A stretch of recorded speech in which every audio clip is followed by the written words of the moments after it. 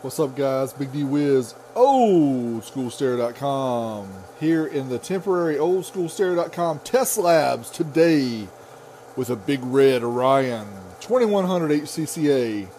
We're going to do a quick behind the scenes test for you guys. We're working on a video with the uh, the big camcorder. We're just doing a quick test here with the iPhone.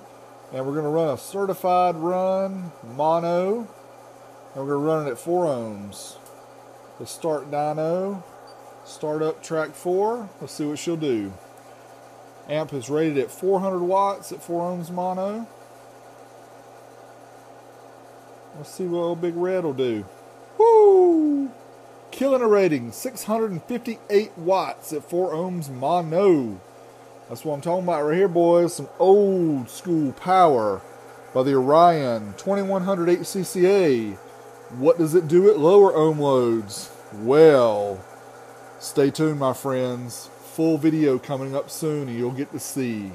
Until next time, this is Big D Wiz, SMD, D'Amore Engineering, Amplifier Dyno Test. I'm out of here!